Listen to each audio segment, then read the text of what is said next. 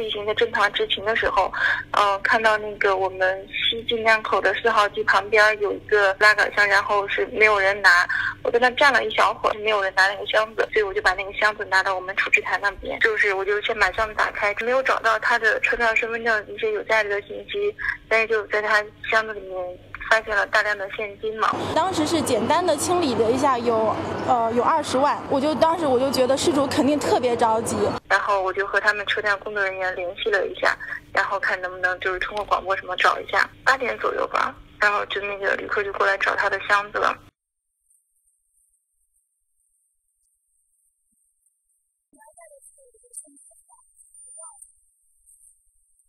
能准确的说出箱子里面有什么东西，